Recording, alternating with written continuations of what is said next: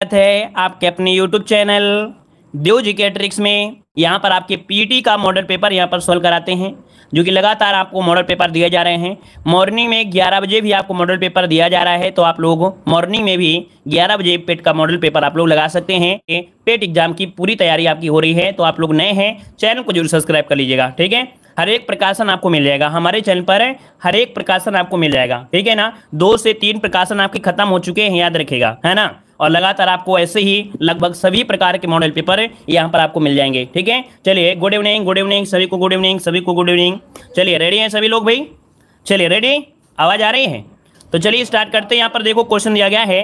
कह रहे सूची फ़र्स्ट को सूची सेकंड के साथ सुमेलित करना है। यहाँ पर दिया है, अकबर के शासनकाल की प्रमुख घटनाओं के बारे में दिया गया है। ठीक है ना? और इनका मिलान यहाँ पर आपको सही से करना है। तो ये बताइएगा कि जो पंद्रह है, पंद्रह में हुआ क्या था? तो अकबर ने क्या किया था? जजिया कर का उन्मूलन किया था। क्या? जजिया कर का उन्मूलन किया था, इसका आपका सी बनेगा। पंद्रह पंद्रह में इबादत खाने की स्थापना हुई थी। इबादत खाने की तो यहाँ पर देखिए इसका आपका डी वाला बनेगा। और इसके बाद पंद्रह सन्यासी में क्या हुआ था? मजहर की घोषणा की थी। मजहर की घोषणा पंद्रह सन्यासी इसका आपका बी हो जाएगा। और दह साल जो सिस्टम अपनाया था, वो आपके पंद्रह में। तो इसका आपका यहाँ पर ये हो जाएगा। तो आपके पास ऑप्शन क्या बन रहे हैं? आपके पास बन रहे हैं सी डी बी और ए क्या बनेगा? C D B A C D B A जो कि ऑप्शन क्या है यहाँ पर आपका बनेगा सी नंबर हो जाएगा। आगे बढ़ते हैं क्वेश्चन दिया गया है। किसने एक तरफ़ किसने एक तरफ़ संस्कृत मुद्रालेखन के साथ चांदी के सिक्के निर्गत किया था? किसने एक तरफ़ संस्कृत मुद्रालेख के साथ चांदी के सिक्के निर्गत किया? टू का ऑप्शन क्या हो जाएगा? तो टू का ऑप्शन हो जाएगा आपका बी नंबर, महमूद गजनवी। कौन है भाई? महमूद गजनवी ने अपने सिक्कों पर एक और कलमा का संस्कृत अनुवाद करवाया था। है ना? इसका जो आपका ऑप्शन है वो आपका बी हो जाएगा। अगला दिया गया दक्षिण भारत का प्रसिद्ध, दक्षिण भारत का प्रसिद्ध तक्कल तक्कोलम का युद्ध हुआ था। ये बताइए, जो तक्कोलम का युद्ध हुआ था, वो किसके मध्य हुआ था? यहाँ पर देखिए, आपका जो थ्री का ऑप्शन है, वो आपका बी हो जाएगा। चोल के साथ और जो आपके राष्ट्रकूट, जो आपके शासक थे, इन दोनों के मध्य हुआ था, इसका ऑप्शन बी हो जाएगा। आगे बढ़ते हैं क्वेश्चन दिया गया है, प्रारंभिक जैन साहित्य निम्नलिखित में से किस भाषा में लिखा गया था? प्रारंभिक जैन साहित्य निम्नलिखित में से किस भाषा में लिखा गया था? बहुत ही लाजवाब क्वेश्चन आपके दिए गए देखिए फ़ोन नंबर में। तो यहाँ पर आपका अर्ध मगधी क्या? ये अर्ध मगधी में लिखा गया था, इसका जो ऑप्शन है, वो आपका ये नंबर आपका राइट हो जाएगा। अगला है, मानव सावधानों में से कुत्ते दफनाए गए थे। अर्थात मानव के साथ, यहाँ पर जो कुत्ते दफनाने के प्रमाण मिले हैं, वो किसके साथ मिले हैं? चलिए फाइव में देखिए आपका जो ऑप्शन है बी नंबर बुर्ज होम में। है ना, कहाँ पर? है तो आपके बुर्ज होम में मानव के साथ कुत्ते दफनाए जाने की भी क्या मिले हैं? यहाँ पर साक्ष्य मिले हैं। और इसके बाद आगे बढ़ते हैं कि बोर्ड ऑफ़ कंट्रोल की स्थापना किस अधिवेशन के अंतर्गत की गई थी? बोर्ड ऑफ़ कंट्रोल की स्थापना किस अधिवेशन में या किस अधिनियम के अंतर्गत की गई थी? बोर्ड ऑफ़ कंट्रोल की स्थापना किस अधिनियम के अंतर्गत की गई? यहाँ पर सिक्स नंबर में। तो सिक्स का जो ऑप्शन है आपका डी हो जाएगा। पिट्स इंडिया अधिनियम सत्रह सौ चौरासी के तहत बोर्ड ऑफ़ कंट्रोल की स्थापना की गई थी। यहाँ पर ऑप्शन डी नंबर राइट हो जाएगा। यहाँ पर आगे बढ़ते हैं क्वेश्चन दिया गया है कि आचार्य विनोबा भावे किस आंदोलन में भाग लेने के लिए प्रथम बार गिरफ़्तार हुए थे? आचार्य विनोबा भावे किस आंदोलन में भाग लेने के लिए प्रथम बार गिरफ़्तार हुए थे? तो देखो, सेवन का जो ऑप्शन है आपका सी हो जाएगा। सविनय अवज्ञा आंदोलन। क्या हो जाएगा? सविनय अवज्ञा आंदोलन, यहाँ पर जो ऑप्शन है आपका सी नंबर है राइट हो जाएगा सी नंबर बनेगा। ठीक है ना? और कब? तो आपके 1930 में। कब? 1930 में यहाँ पर भाग लेने के कारण प्रथम बार गिरफ़्तार हुए थे आचार्य विनोबा भावे। नोट करिए अच्छा क्वेश्चन आपका दिया गया है। और इसके बाद आगे बढ़ते क्वेश्चन दिया गया है जलिया नरसंहार हुआ था। जलिया वाला नरसंहार हुआ था, ये कब हुआ था? सभी लोग भाई वीडियो को ज़रूर लाइक कर दीजिएगा। जितने लोग यहाँ पर बाद में जुड़े हैं, है ना? सभी लोग भाई वीडियो को लाइक ज़रूर करें। इतना ध्यान ज़रूर रखें, आप लोग अपना सपोर्ट ज़रूर दिया करें। आपको सपोर्ट आपको मिलता है हमसे और आपका भी सपोर्ट मिलना चाहिए हमें भी, है ना? तो सभी लोग यहाँ पर लाइक का बटन ज़रूर दबा दिया करें। देखो यहाँ पर दिया जलिया वाला नरसंहार जो हुआ था, ये कब हुआ था? तो ऑप्शन आपका बनेगा सी नंबर तेरह अप्रैल डेट याद रखिए, तेरह अप्रैल उन्नीस सौ उन्नीस, जो कि ऑप्शन है आपका सी नंबर राइट हो जाएगा, है ना? यहाँ पर आगे बढ़ते हुए क्वेश्चन दिया गया है कि बंगाल के विभाजन को किस वर्ष रद्द कर दिया गया था? बंगाल के विभाजन को किस वर्ष रद्द कर दिया गया? यहाँ पर नाइन नंबर में। तो देखो नाइन का ऑप्शन सी हो जाएगा 1911 ईस्वी में। 1911 ईस्वी में बंगाल के विभाजन को क्या कर दिया गया था? रद्द कर दिया गया था, जो कि ऑप्शन है यहाँ पर आपका सी नंबर राइट हो जाएगा। क्या हो जाएगा आपका? सी नंबर राइट हो जाएगा। और आगे बढ़ते क्वेश्चन आपसे अगला पूछा गया है क्या आपसे, महलवाड़ी प्रथा में किसके साथ राजस्व का बंदोबस्त हुआ था? महलवाड़ी प्रथा में किसके साथ राजस्व का बंदोबस्त हुआ था? तो किसके साथ हुआ था भाई? तो देखो, ग्राम समुदाय के साथ समग्र रूप से। किसके साथ? साथ ग्राम समुदाय के साथ समग्र रूप से यहाँ पर जो आंसर बनेगा, वो आपका यहाँ पर क्या हो जाएगा? यहाँ पर डी नंबर इसका राइट हो जाएगा। देखो, यहाँ पर जो आंसर है आपका डी हो जाएगा। मतलब ये हुआ कि महलवाड़ी पद्धति के अनुसार भूमि कर की जो इकाई है, वो कृषक का खेत नहीं अपित्र गाँव अथवा महल। महल मतलब होता है जागीर का एक भाग होता था, है ना? याद रखिए, ग्राम अथवा महल। महल मतलब होता है जागीर का एक भाग। है ना यह पद्धति संयुक्त रूप से उत्तर प्रदेश, साथ में आपका मध्य प्रांत और आपके पंजाब के कुछ भागों में आपके लागू की गई थी। लगभग देखा जाए तो 30 परसेंट भाग इसमें से आपका शामिल था। आगे बढ़ते हैं, क्वेश्चन दिया गया है, अपवाह क्षेत्र की दृष्टि से विश्व की सबसे लंबी नदी इनमें से कौन सी है? अपवाह क्षेत्र की दृष्टि से विश्व की सबसे लंबी नदी आपसे पूछा है। तो यहाँ पर देखिए, अमेजन जिसका आ रहा है, बिल्कुल राइट हो जाएगा। अमेजन है, अपवाह, इसका जो आपका जल का बहाव क्षेत्र है, वो बहुत चौड़ा है है ना? तो उसके हिसाब से ये सबसे लंबी नदी है। वैसे आप लोग जानते हैं कि जो नील नदी है, वो विश्व में सबसे लंबी नदी आपकी है है ना? आगे बढ़िए क्वेश्चन दिया गया है। कि प्रधान यामोत्तर तथा विश्वत रेखा का छेदन बिंदु अवस्थित है। अर्थात जो आपकी यहाँ पर प्रधान यामोत्तर रेखा जाती है और जो आपकी विश्वत रेखा जाती है, ये दोनों आपस में जो मिलते हैं, कहाँ पर मिलते हैं? ये क्वेश्चन एक बार पूछा भी गया था। अर्थात यहाँ पर अगर हम आपको ग्लोब बना देते हैं तो यहाँ पर देखिए एक रेखा, ये भूमध्य रेखा हो गई और एक बीच से रेखा जाती है। ये वाला जो पॉइंट आपको मिलेगा, ये मिलेगा अटलांटिक महासागर। कहाँ मिलेगा? अटलांटिक महासागर और इसे अटलांटिक महासागर को अंध महासागर भी कहते हैं। क्या बोलते हैं? अंध महासागर कहते हैं तो इसको ऑप्शन ये वाला ये वाला आपका राइट हो जाएगा। अगला दिया, तमिलनाडु में मानसून के सामान्य महीने कौन से हैं? अर्थात तमिलनाडु में जो बारिश होती है, वो आपकी कौन से महीने में होती है? तमिलनाडु में। तो ये होती है नवंबर, दिसंबर में होती है। भाई, सर्दियों में जो चक्रवाती वर्षा होती है, वही तो होती है ना? कहाँ पर? तो आपके तमिलनाडु में, अर्थात इस एरिए में जो आपका है ऑप्शन बनेगा यहाँ पर डिसंबर अगला क्वेश्चन दिया गया है निम्नलिखित राज्यों में से कौन से उत्तर प्रदेश के सीमावर्ती हैं? उत्तर प्रदेश से लगने वाले यहाँ पर आपके कौन से हैं? तो देखो, उत्तर प्रदेश में आपका राजस्थान, आपका छत्तीसगढ़ और आपका झारखंड, लेकिन पंजाब से कोई सीमा नहीं लगी है तो ऑप्शन क्या बनेगा? बी नंबर आपका राइट हो जाएगा। अगला दिया गया है, वर्ष दो हज़ार एक और ग्यारह की अवधि में उत्तर प्रदेश की दस की जो वृद्धि दर रही, वो आपकी कितनी रही थी? मतलब जो दस वर्षों में जो वृद्धि हुई थी, वो आपकी कितना परसेंट वृद्धि हुई यहाँ पर पंद्रह नंबर में? तो देखिए आपका बीस दशमलव ज़ीरो नौ परसेंट बीस दशमलव ज़ीरो नौ परसेंट यहाँ पर जो आंसर है, वो आपका राइट क्या हो जाएगा? बी नंबर इसका राइट हो जाएगा। क्लियर है? अगर आपसे देश में पूछ ले, क्योंकि ये उत्तर प्रदेश दिया भाई, याद रखिएगा, आप लोगों से एक पॉइंट दिया है उत्तर प्रदेश। लेकिन अगर आपसे देश में पूछ लेता है कि देश में कितने परसेंट वृद्धि हुई थी तो आप कहेंगे, सर, सत्रह दशमलव ज़ीरो सात परसेंट कितना? सत्रह दशमलव ज़ीरो सात परसेंट ये आपके भारत की दस की वृद्धि दर है। तो दोनों में अंतर होता है कभी कभी आप जल्दीबाजी में गलती कर देते हैं। अगला दिया है, विशेष आर्थिक जोन जिसे सेज कहते हैं, इस नीति की घोषणा जो की गई थी, वो आपकी कब की गई थी? तो यहाँ पर देखिए, आपके अप्रैल 2000 में, अप्रैल 2000 में इस नीति की घोषणा की गई थी। यहाँ पर जो आंसर है, वो आपका ये नंबर हो जाएगा। और अगला है, अदृश्य निर्यात जो होता है, वो क्या होता है? अदृश्य निर्यात किसे कहते हैं? तो देखो, अदृश्य निर्यात की अगर हम बात करें तो यहाँ पर जो सेवाओं का निर्यात होता है, क्या? सेवाओं का निर्यात होता है या अदृश्य निर्यात होता है। तो देखो आप जो आप, आपका जो आंसर है वो आपका बनेगा आपका नंबर राइट हो जाएगा। मतलब यहाँ पर देखो आपके जो भुगतान संतुलन है वो दो रूप से बांटा जाता है। एक तो होता है चालू खाता और दूसरा होता है पूंजी खाता। तो जो चालू खाता होता है वो दो भाग में होता है। एक दृश्य खाता होता है एक अदृश्य खाता होता है। ठीक है ना? तो यहाँ पर जो अदृश्य खाता होता है उसमें चालू खाते में न केवल वस्तुओं के आयात निर्यात को शामिल किया जाता है इसके अंतर्गत दो मदों और सेवाओं में जो एक पक्षी हस्तांतरण होता है उसको भी शामिल करते हैं। इस कारण से यहाँ पर जो ऑप्शन है वो आपका ए नंबर बनेगा। अगला क्वेश्चन दिया गया है, खादी ग्राम उद्योग की स्थापना किस पंचवर्षीय योजना काल में की गई थी? तो देखो भाई, आपको याद होगा कि आपके उन्नीस सौ छप्पन के तहत, है ना, यहाँ पर जो आपका अधिनियम आया था तो इसका जो ऑप्शन आपका बनेगा, वो आपका दूसरी बनेगी। क्या बनेगा? ऑप्शन हो जाएगा आपका सी नंबर यहाँ पर आपका हो जाएगा। अगला क्वेश्चन दिया गया है गिल्ट एज्ड बाज़ार किससे संबंधित है? गिल्ट एज्ड बाज़ार किससे संबंधित है? तो देखो, ये आपकी सरकारी प्रतिभूतियाँ जो होती हैं, उनके व्यापार से संबंधित है। जो सरकारी प्रतिभूतियाँ होती हैं, है ना तो यहाँ पर जो आंसर है आपका, यहाँ पर राइट हो जाएगा सी नंबर राइट हो जाएगा। ठीक है? यहाँ पर आगे बढ़ते क्वेश्चन दिया गया है कि भारत सरकार के नीति आयोग जो आर्थिक नीति निर्धारण का चिंतन समूह है, अर्थात थिंक टैंक है तो नीति का पूरा नाम आपसे पूछा है कि इसका जो आंसर बनेगा क्या हो जाएगा। ये बताइए नीति का फुल फॉर्म होता क्या है? बिल्कुल ईजी होना चाहिए, क्योंकि आप लोग हमेशा से पढ़ रहे हैं, बहुत बार पढ़े होंगे। तो भाई, यहाँ पर 2015 में, है ना, यहाँ पर योजना आयोग के स्थान पर नीति आयोग आया था।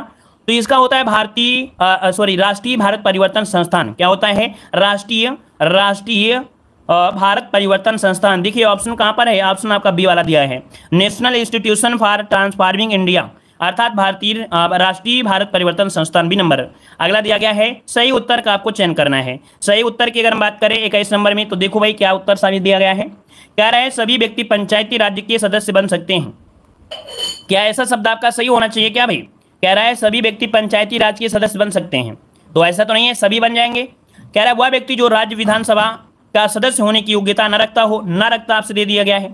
फिर क्या है पच्चीस वर्ष तो भाई पच्चीस वर्ष ज़रूरी नहीं है, क्योंकि इक्कीस वर्ष आपका होता है। मतलब ऑप्शन डी हो जाएगा कि वे सभी लोग जो इक्कीस वर्ष की आयु की पूरी कर चुके हों, तथा राज्य विधान के सदस्य चुने जाने की योग्यता रखते हों तो ये पंचायती राज की सदस्यता के लिए योग्य माने जाते हैं। तो ऑप्शन देखिए क्या बन गया। आपने अगर चारों ऑप्शन पढ़ा होगा तो आपका आंसर बिल्कुल राइट हो जाएगा। यहाँ पर कौन सा? डी नंबर आपका राइट हो गया, है ना? चलिए, आगे बढ़िए क्वेश्चन दिया गया है। रहा आपसे, कोई विधेयक, धन विधेयक है या नहीं, इसका निश्चय करता है कौन? कोई विधेयक, धन विधेयक है या नहीं, इसका निर्णय कौन करता है?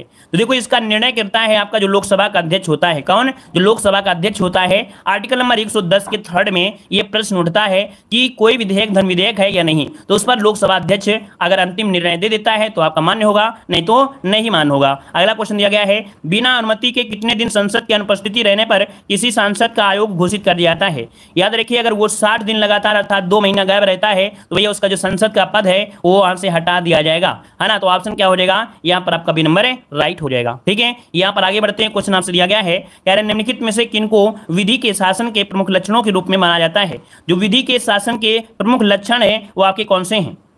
चलिए, यहाँ पर विधि के शासन के लक्षण पूछा गया है चौबीस नंबर में। तो यहाँ पर देखो दिया गया है, शक्तियों का परसीमन है। और इसके बाद यहाँ पर जो दिया है, सरकार के प्रति जन उत्तरदायु और जो स्वतंत्रता और जो आपका नागरिक अधिकार है। यहाँ पर जो आंसर होगा, वो आपका सी बनेगा, केवल दो एक, दो और जो एक, दो, चार। एक, दो, चार बनेगा, विधि के समझ समांतर ये चौदह में होता है, आर्टिकल नंबर चौदह होगा। नहीं, ये ऑप्शन नहीं बनेगा भाई। ये ऑप्शन नहीं बनेगा, दूसरा ऑप्शन देखिए भाई। यहाँ पर देखिए, दो भी आपका सही है ना विधियों का परसीमन हो गया, विधि के समझ समानता। तो विधि आपका चौदह इसको तो लिया जाएगा भाई, है ना? और विधियों का परसीमन हो गया एक और दो। इसके बाद सरकार के प्रति जन उत्तरदायु और स्वतंत्रता और नागरिक यहाँ पर देखिए इसका बनेगा एक, दो, चार बनेगा। मतलब जो ऑप्शन आपका सी है, वही सही होगा। कौन सा? एक, दो, चार सही होगा। तीन इसमें नहीं लिया जाएगा। क्या? तीन इसमें से नहीं लिया जाएगा भाई। ठीक है? चलिए आगे बढ़ते हैं। क्वेश्चन दिया गया है। कह रहा है, भारतीय संविधान इनमें से किसका सर्वाधिक ऋणी है? भारतीय संविधान इनमें से सर्वाधिक ऋणी किसका है भाई? तो आपको मालूम होगा कि भारतीय जो सर जो कह सकते हैं कि आपका संविधान है, वो सबसे ज़्यादा कहाँ से लिया गया है? तो ये बताइए, आपका जो भारत शासन अधिनियम है 1935 का तो यहाँ से सबसे ज़्यादा ऋणी है क्योंकि सबसे ज़्यादा लिया गया है, यहीं से लिया गया है, ठीक है? यहाँ पर लगभग देखा जाए तो 200 धाराओं को इसी तरफ़ से लिया गया है है ना? उसमें थोड़ा सा संशोधन कर लिया गया है तो इसका जो ऑप्शन है आपका सी वाला, राइट हो जाएगा। अगला क्वेश्चन है कि रक्त होता है, रक्त जो होता है, क्या होता है भाई? तो रक्त एक संयोजी ऊतक होता है है ना? यहाँ पर जो आंसर है आपका ये नंबर बनेगा कि रक्त जो होता है, एक संयोजी ऊतक होता है और इसकी उत्पत्ति भ्रूण के जो आपका मीसोडर्म होता है, वहाँ पर आपका होता है है ना? ऑप्शन क्या बनेगा? यहाँ पर ये नंबर स्वस्थ मनुष्य होगा तो पाँच छह लीटर क्या होगा? रक्त की मात्रा पाई जाती है। आगे बढ़िए क्वेश्चन दिया गया है, निम्नलिखित जंतुओं में से किसमें तीन प्रकोष्ठ वाला हृदय होता है? ऐसा कौन सा जंतु है जिसके हृदय में तीन भाग होते हैं? तीन भाग होते हैं आपका, जो मेढक होता है। कौन होता है? जो मेढक होता है, ये आपके एम्फीबिया वर्ग में आता है। किसमें? एम्फीबिया। मतलब क्या होता है? एम्फीबिया मतलब होता है, ये आपका उभयचर होता है। उभयचर मतलब होता है असमतापी। असमतापी मतलब ये हुआ कि ये पानी में भी रह सकता है, स्थल में भी रह सकता है है ना? तो इस कारण इसे एम्फीबिया वर्ग कहा जाता है है ना? और इसका जो ऑप्शन है, वो आपका हो जाएगा डी नंबर। अगला क्वेश्चन दिया गया है। यहाँ पर दिया गया है कि जो भारी जल है तो भाई भारी जल जो होता है, क्या होता है? भारी जल जो होता है, क्या होता है? तो यहाँ पर देखिए ऑप्शन हो जाएगा, ये मंदक का कार्य करता है, भारी जल जो होता है, ये मंदक का कार्य करता है, जो आपके रिएक्टर होते हैं, है ना, जल रिएक्टर होते हैं तो उच्च दाब वाले रिएक्टर में उसको नियंत्रित करने और उसके शीतला के रूप में प्रयोग किया जाता है, ठीक है? अगर आपसे पूछे कि इसका प्रयोग कहाँ किया गया था, प्रथम भारी जल का जो प्रयोग किया गया था उन्नीस सौ इकसठ में आपके बंगाल में किया गया था। कहाँ पर आपके? बंगाल में किया गया था इसका प्रयोग। अगला क्वेश्चन है कि घरेलू बिजली के तार आधार रूप में कैसे आपके हैं? अर्थात घर के जो तार होते हैं, वो किस प्रकार के होते हैं भाई? ये कौन से क्रम में लगाए जाते हैं? श्रेणी क्रम में या समांतर क्रम में? चलिए उनतीस नंबर में। ये लगाए जाते हैं समानांतर क्रम में। किस क्रम में? समानांतर क्रम में जोड़ा जाता है और इसमें प्रत्येक जो आपका प्रतिरोध होता है, उसमें एक विभवांतर समान होता है और साथ में जब समानांतर क्रम होता है तो उसमें न्यूनतम प्रतिरोध प्राप्त किया जा सकता है। तो इस कारण से ऑप्शन आपका बी हो जाएगा। अगला दिया गया है, डेसीबल किसे नापने के लिए प्रयोग किया जाता है? डेसीबल से मापते क्या है? तो ध्वनि की तीव्रता मापी जाती है। तो इसका देखिए ऑप्शन हो जाएगा। यहाँ पर तीस नंबर में ऑप्शन सी हो जाएगा। वातावरण में ध्वनि। वातावरण में ध्वनि। अगर हम आपसे बात करें कि हम साधारण अगर बातचीत करते हैं तो लगभग 10 से 20 डेसिबल होता है तो एक साधारण बातचीत आपकी होती है, ठीक है ना? अगर कोई लाउड स्पीकर से बात कर रहा है तो इसका मतलब लगभग 70 डेसिबल हो जाता है। आगे बढ़ते हैं क्वेश्चन आपसे अगला पूछा गया है, कह रहा है, कामायनी के रचनाकार कौन से हैं? कामायनी के रचनाकार आपको बताना है, यहाँ पर छत्तीस नंबर में। चले कुछ क्वेश्चन का अध्ययन के जो स्किप कर दिए गए हैं, है ना? यहाँ पर कुछ क्वेश्चन का अध्ययन है या कह सकते हैं, कुछ मैथ क्वेश्चन होंगे जो कि आपके स्किप किए गए हैं। यहाँ पर कामायनी के रचनाकार, यहाँ पर छत्तीस का ऑप्शन क्या जाएगा तो भैया, आपको हमने पढ़ाया जयशंकर प्रसाद। क्या बताया है? जयशंकर प्रसाद, याद रखिए, कामायनी क्या है? एक महाकाव्य है। क्या है भाई? एक महाकाव्य है, याद रखिएगा। अगला दिया गया है, दूध का धुला होना मोहरे करते में से क्या होता है? दूध का धुला होना, इसका मतलब क्या होता है? निर्दोष होना या निष्कलंक होना। मतलब आपका देखा जाए तो यहाँ पर प्रयोग किया जाए तो यहाँ पर आप कहोगे कि आज के दौर में कोई दूध का धुला नहीं होता है। है ना? ऑप्शन क्या हो जाएगा? ए नंबर राइट हो जाएगा। निर्दोष हो जाना, ठीक है? ऑप्शन बनेगा आपका ए नंबर राइट हो जाएगा। आगे बढ़ते हैं क्वेश्चन दिया गया है हिंदी वर्तनी के आधार पर सही वाक्य का चयन करना है। अड़तीस नंबर की अगर बात करें तो यहाँ पर देखो कह रहा है हिंदी वर्तनी के आधार पर, तुम इसके दाम देते जाओ, तुम इसका दाम देते जाओ, तुम इसका दाम देते जाओ तो इसका दाम। तो यहाँ पर ऑप्शन बी वाला इसका राइट हो जाएगा, तुम इसका दाम देते जाओ, है ना? यहाँ पर जो आंसर है वो आपका बी वाला राइट हो जाएगा। आगे बढ़ते हैं क्वेश्चन दिया गया है, कौन सा जोड़ा समरूपी भिन्नार्थक है? कौन सा जोड़ा समरूपी भिन्नार्थक है? आपसे पूछा गया उनतालीस नंबर में। तो देखो दिया गया है अवधि और अवधि। ये बोलने में एक जैसे लग रहे हैं कि नहीं लग रहे हैं?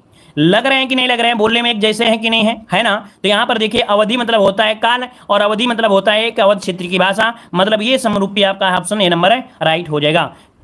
कुछ लोग यहाँ पर डी दे रहे हैं, लगता है समझ में नहीं आया भाई।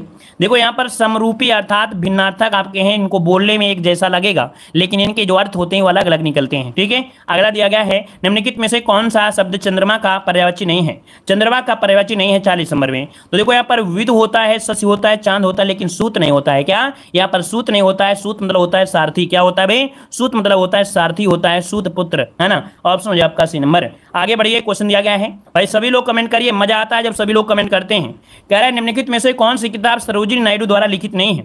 कौन सी किताब है जो सरोजिनी नायडू के द्वारा यहाँ पर लिखित नहीं है इक्यावन नंबर में? तो देखिए, इक्यावन की अगर हम बात करें तो यहाँ पर देखो दिया गया है आपका द गोल्डन बर्ड। क्या? द गोल्डन बर्ड, ये आपके पुस्तक जो है, वो ग्रीम ब्रदर्स के द्वारा है। किसके द्वारा? Grim brother. ग्रीम ब्रदर्स के द्वारा ये आपका लिखी गई है। तो ऑप्शन क्या हो जाएगा? आपका सी नंबर जाएगा, ग्रीम ब्रदर्स के द्वारा लिखी गई है। वहीं पर द गोल्डन विंग और द गोल्डन से threshold, the word of times, ये तीनों आपके सरोज नायडू के हैं। अगला दिया गया है, मोनी अट्टम जो नृत्य है वो आपके कहाँ का है? मोनी अट्टम। और जब अट्टम दे दिया जाए तो आपको बताना है केरल। अट्टम शब्द कहाँ से है? तो आपके केरल से जुड़ा हुआ है। अगर आपके उड़ीसा का है तो आप जानते हैं उड़ीसा, है ना? यक्षगान कहाँ का है? तो आपके कर्नाटक का है। और भारतनाट्यम कहाँ का है? तो आपके तमिलनाडु का है। आगे बढ़िए क्वेश्चन दिया गया है। यहाँ पर दिया गया है, निम्नलिखित में से कौन सी गैस ग्रीन हाउस गैस नहीं है? कौन सी गैस ग्रीन हाउस गैस नहीं है? तिरपन नंबर में। चलिए, तिरपन की देखिए अगर हम बात करें तो भाई मीथेन होती है जलवाष्प होता है और कार्बन डाइऑक्साइड होती है। लेकिन भाई जो आपकी नाइट्रोजन है ग्रीन हाउस गैस आपकी नहीं होती है याद रखिएगा, है ना? यहाँ पर आगे बढ़ते हैं क्वेश्चन दिया गया है, परितंत्र के दो मूल घटक आपके जो होते हैं, कौन होते हैं? परितंत्र के दो मूल घटक इनमें से होते हैं, जो जीवी होते हैं और अजीवी। अर्थात जैविक और अजैविक, दो ही प्रकार के तो होते हैं ना? जैविक होते हैं और अजैविक होते हैं। तो ऑप्शन क्या हो जाएगा आपका? भी नंबर है राइट हो जाएगा। याद रखिए परिस्थिति तंत्र की जो परिकल्पना किया था, वो आपके एजी ट्रांसले द्वारा आपकी उन्नीस में की गई थी। आपका जो परितंत्र है। अगला क्वेश्चन है कि पोर्ट ब्लेयर की राजधानी क्या है? बहुत बार आपने पढ़ा होगा पोर्ट ब्लेयर भाई पोर्ट ब्लेयर किसकी है? तो ऑप्शन क्या बनेगा? यहाँ पर हो जाएगा अंडमान निकोबार ऑप्शन ये बन जाएगा। अगला निम्नलिखित में से कौन सी भूमि किसी विदेश के स्वामित्व में नहीं है? यहाँ पर कौन सी भूमि है जो किसी देश के स्वामित्व में नहीं है? तो देखो ये जो आपका अंटार्कटिका है भाई क्या? जो आपका अंटार्कटिका है यहाँ पर छप्पन नंबर में ऑप्शन बनेगा आपका बी नंबर। ये अंटार्कटिका किसी के अं-, अंडर में आपका नहीं है। यहाँ पर सभी देशों के शोध संस्थान ज़रूर मिलेंगे लेकिन यहाँ पर कोई भी देश ऐसा दावा नहीं कर सकता है कि यह पृथ्वी एकमात्र सबसे बड़ा स्वामित्व आपका है या हमारा है। ऐसा कोई नहीं कह सकता है ठीक है? आगे बताइए क्वेश्चन है कि राष्ट्रपति द्वारा राज्यसभा में कितने सदस्यों को नामित किया जाता है? तो भाई यहाँ पर आंसर क्या हो जाएगा? बारह सदस्यों को। ऑप्शन क्या बनेगा? यहाँ पर सी नंबर अगला है मंदिर एलोरा, महाराष्ट्र में स्थित एक प्राचीन हिंदू मंदिर है, जो चट्टानों को काटकर बनाए गए हैं। सबसे मंदिरों में से आपका इनमें से कौन सा मंदिर है? तो देखो भाई, आपको हमने बताया था कि ये मंदिर आपका कैलाश मंदिर है। कौन सा आपका? यहाँ पर जो कैलाश मंदिर है, याद रखिएगा, ये मंदिर दुनिया में सबसे बड़े मंदिर, एक एक समक मंदिर आपका है। मतलब जो एलोरा की गुफाओं में स्थित है, और ये एक समक मतलब होगा काट कर बनाया गया है, जो चट्टानों को काटकर बनाया गया है। राष्ट्रकूट एक राजा थे, कृष्ण प्रथम। कौन? राष्ट्रकूट राजा कृष्ण प्रथम ने बनवाया था। अगला है, किस राज्य केंद्र शासित प्रदेश राज्य की पंचायत, देश की पहली कार्बन न्यूट्रल पंचायत बनी है। देखिए भाई, यहाँ पर देख सकते हैं अच्छा क्वेश्चन आपका दिया है। हो सकता है क्वेश्चन आपका पंचायती व्यवस्था में पूछा जा सकता है कि जो आपका पहली पंचायत, आपकी जो है, पहली पंचायत जो कि कार्बन न्यूट्रल पंचायत बनी है, वो आपकी कौन सी है? तो ये बन गई है आपकी जो जम्मू कश्मीर है। ऑप्शन बनेगा, यहाँ पर डी नंबर है, जो आपका अभी हाल ही में पंचायती राज दिवस मनाया गया है 24 अप्रैल 2022 को। तो इसमें पंचायती राज दिवस के अवसर पर जम्मू कश्मीर के सामा ज़िले के एक पल्ली गाँव है। कौन है आपका? पल्ली गाँव है, पल्ली गाँव। तो इस पल्ली गाँव को देश की पहली कार्बन न्यूट्रल पंचायत घोषित किया गया है, ठीक है? और यहाँ पर आगे बढ़ते क्वेश्चन आपसे दिया गया है कि वागीस क्या है? वगसीर क्या है? वगसीर जो है, यह का है क्या? तो देखो, ये वगसीर एक प्रकार की पंडुब्बी है। क्या एक प्रकार की पंडुब्बी इसका जो ऑप्शन है वो आपका ये नंबर आपका हो जाएगा। और ये मंजगांव डाकघर जो आपका लिमिटेड है, वहाँ से कह सकते हैं कि इसे लॉन्च किया गया है। और वक्सीर जो नामकरण है, ये सैंड फ़िश के नाम पर किया गया है। किसके? सैंड फ़िश के नाम पर किया गया है। है ना? ये एक मछली है जो प्रजाति है, आपके हिंद महासागर में पाई जाती है मछली। अगला क्वेश्चन दिया गया है, किस विश्वविद्यालय में डॉक्टर अंबेडकर उत्कृष्टता केंद्र योजना का शुभारंभ किया गया है? किस विश्वविद्यालय में डॉक्टर अंबेडकर उत्कृष्टता केंद्र योजना का शुभारंभ किया गया है? इकसठ नंबर में क्या बनेगा?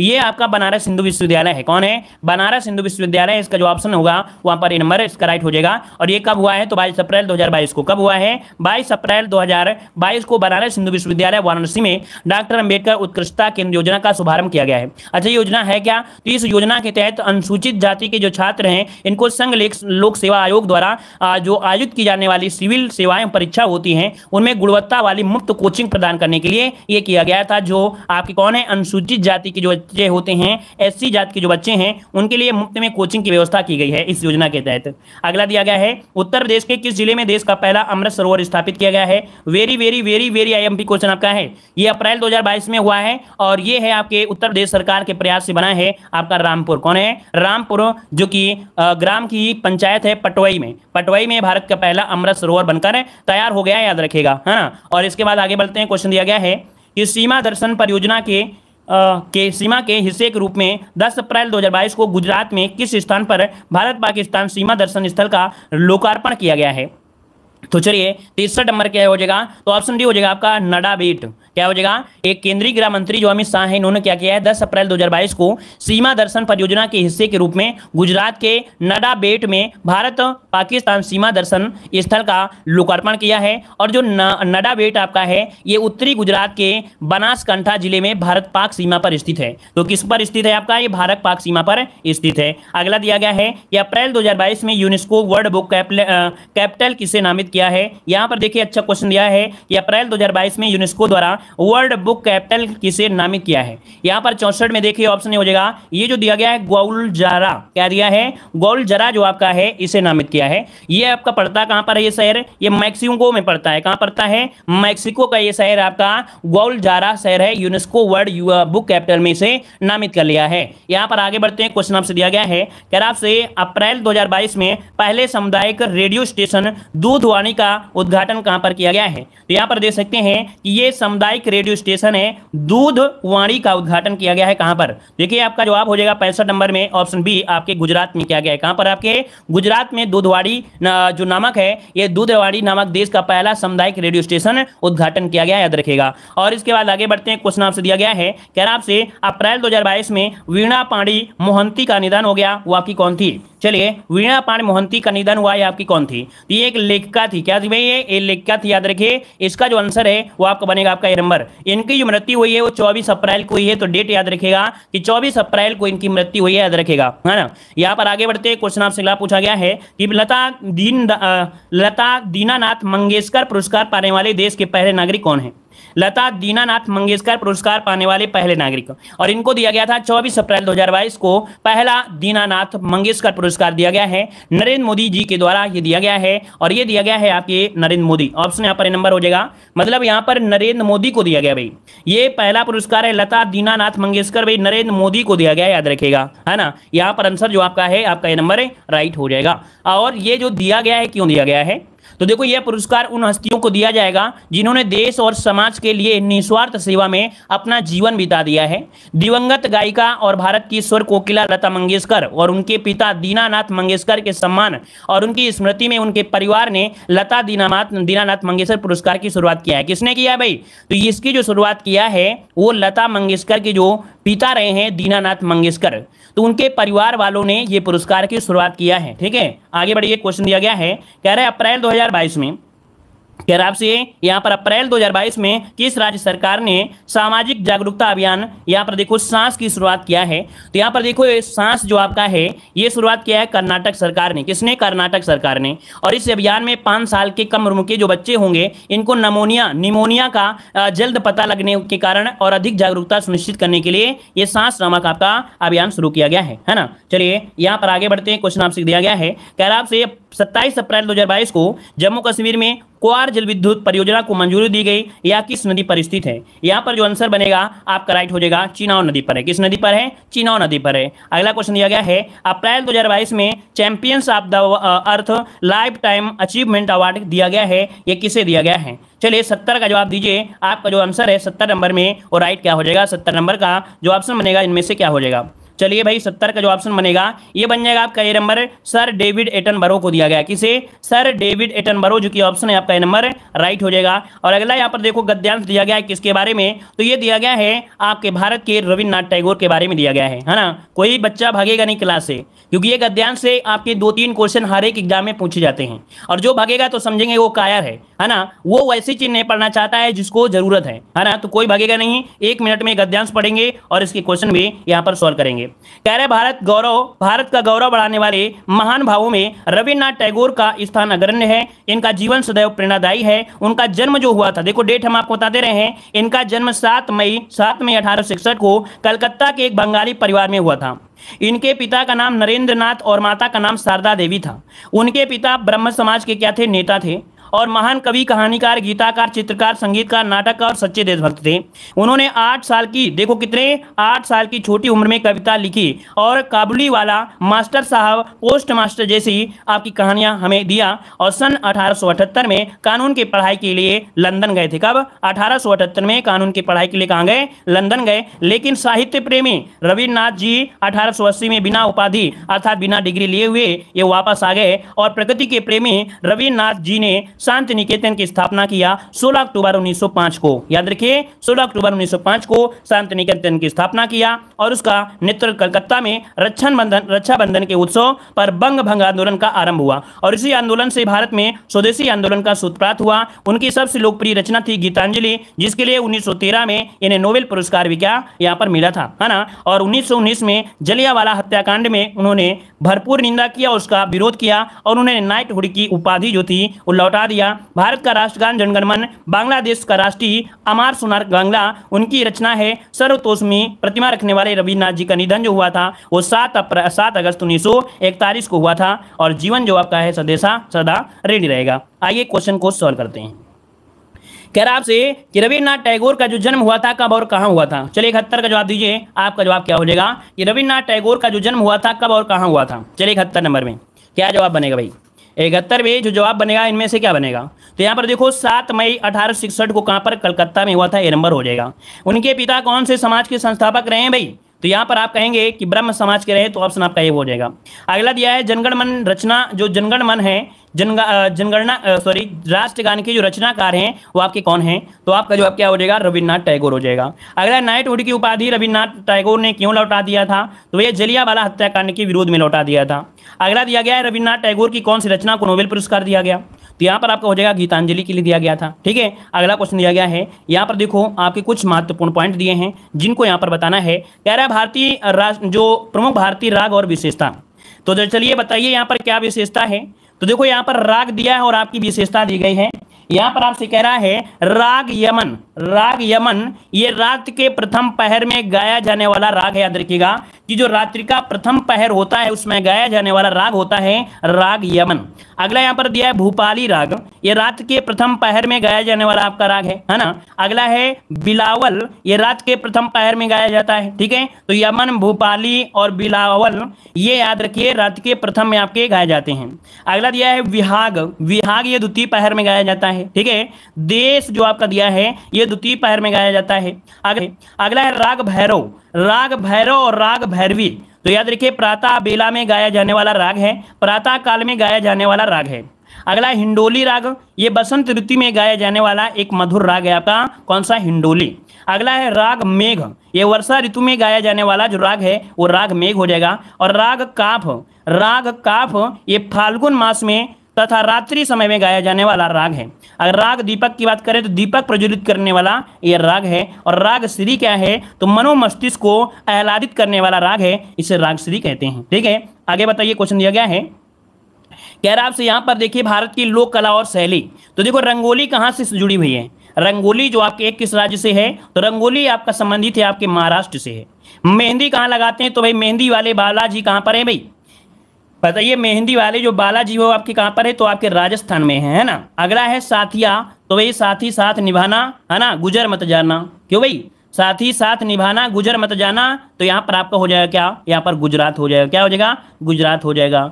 अगला है मांडा तो मांडा जो आपका है, कहाँ से है? तो आपके राजस्थान से है। राजस्थान से अर्पण एक आपकी शैली है, जो कि कहाँ से है? आपके बिहार से। कहाँ से है? बिहार से है। चौक पूर्णा तो चौक, पूर्णा, ये आपके कहाँ से है? उत्तर प्रदेश से है। क्या है? उत्तर प्रदेश से है। गुदना जो आपका है, ये कहाँ से है? तो भैया, बिहार और झारखंड में गुदना, आपका गुदना जानते हो ना? हाथ में गुदा लेते हैं अपने हस्बैंड का नाम, है ना? और अगला है आपना तो अपना ये पहाड़ी क्षेत्र में है। तो एक याद रखिएगा कि अल्पना और अपना दोनों में अंतर आपका है। जैसे अर्पण है आपका बिहार और अपना जो आपका है, ये पहाड़, यहाँ से क्वेश्चन है, वो आपका बनता ही बनता ही, है ना? तो चलिए फिर आज की क्लास यही रखी जाती है। धन्यवाद सभी को, जय हिंद। सभी को वंदे मातरम।